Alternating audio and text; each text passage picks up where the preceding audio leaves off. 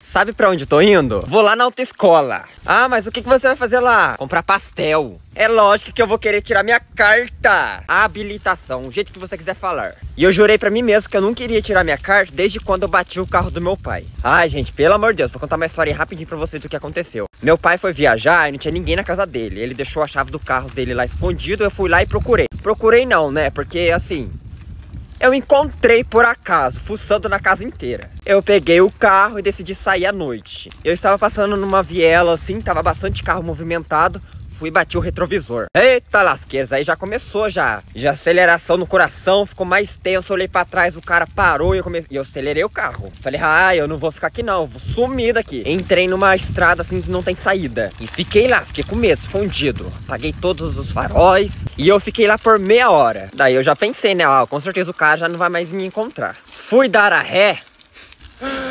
Meu Deus do céu. Gente, eu não vi o poste atrás de mim. Só que como eu tenho um pé pesado, eu pisei no acelerador para dar ré, bum! Quebrou o carro e o carro ficou pendurado. Meu Deus do céu. Gente, eu não sabia o que eu ia fazer. Eu comecei a entrar em desespero porque o carro ficou inclinado, eu não sabia o que fazer, porque eu não tinha força suficiente para empurrar o carro. Falei, meu, e agora o que, que eu faço? Aí eu saí do carro, fiquei pensando, vi a batida, amassou o carro. Ó o franguinho. A galinha na água, refrescando. Aí nessa hora eu já tinha perdido a esperança, porque eu tinha certeza que ele já ia ver. Daí eu pensei, como é que eu vou tirar o carro aqui inclinado desse poste? Por sorte, veio duas pessoas que moravam perto ali. Ah, isso é tudo era 10 horas da noite, hein? Chamei duas pessoas que eu nunca vi na vida, se me assaltar também não sei. Pedi uma ajuda, eles conseguiram empurrar o carro junto comigo e vim embora. Mas eu vim embora tremendo. Cheguei na casa do meu pai, deixei o carro do mesmo jeito que estava, coloquei a chave aonde eu encontrei, por acaso, e eu fui dormir. Daí eu acordei, fui diretamente para ver o carro, como é que estava a situação. Meu Deus. A batida estava um amassadão no porta-mala. Aí já pensei, já era minha vida. Então chegou lá pelas 3 horas da tarde, meu pai estava para vir, já mandou mensagem. Ai, o coração começou a sair pela boca. Aí ele chegou, não tinha visto o carro. Aí eu fui embora e não tinha visto o carro. Chegou mais à noite, ele não tinha visto o carro ainda. Chegou 6 horas, 5 horas da manhã que ele vai para trabalhar, viu o carro. Aí ele já mandou o áudio pra mim. Falando se eu que tinha pego o carro escondido, que eu tinha bacetado ele, que não sei o quê. Aí não tinha escapatória, né, minha gente? Não tinha como mentir, não tinha como jogar a culpa no meu irmão, né? Porque meu irmão estava com ele. Ah, fazer o quê? Falei, daí falou que ia marcar reunião, fiz reuniãozinho com ele.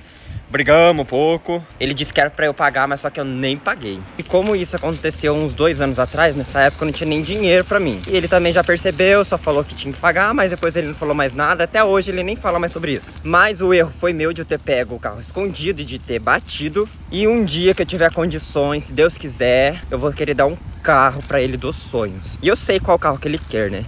E a gente, não peguem carro escondido, viu? E eu também vou tirar carta só de carro. Porque eu nunca gostei de moto, ainda mais que é muito mais fácil de você. E meu irmão também sofreu um acidente de moto, ficou um bom tempo parado. Fui visitar ele no hospital, ficou quatro dias no hospital. E eu nunca gostei de moto, nunca vou gostar. Minha opinião. Eu já estou chegando aqui. Vamos ver. Ó o carrinho da autoescola. Está ali, ó. Autoescola. Oi, tudo bem? Tudo. É, queria saber como... Saber como não, né? É, eu quero tirar carta de carro. De, só de carro? Só de carro. Quero moto, não. Eita. Mas novo desse tem que entrar de moto também. Ah, não, moto eu não gosto. Ó, tá assim, três parcelas de 460. A primeira parcela de 460, de baixo é, é preço à vista, tá? Que sai por... Menos o médico psicotécnico. Uns três meses. Se a gente, para alguma pessoa prometer menos de três meses, é impossível. Tá, três meses. Exames é uma vez por mês aqui. Então tem a burocracia do médico, psicotécnico, cursinho, são 12 dias. Nosso cursinho é online, tá? Uhum. E depois tem o exame escrito. Só depois que você fazer essas etapas que você vai para as aulas. Ah, sim. Aí eu marco, são 20 aulas, eu marco aula é, de duas em duas. Em 10 dias você conclui as 20 aulas. Uhum, Então não tem aula presencial.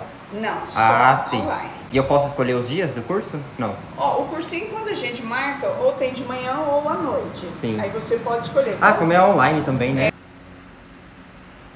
Saí da escola e marquei meu exame psicoteco, psicotécnico, alguma coisa assim, é quarta-feira. Mas o problema é que aqui na minha cidade não faz nenhum tipo de exame, então vou ter que ir lá na outra cidade. Mas isso é semana que vem eu vou gravar pra vocês também. E eu achei caro a carta. Oxi!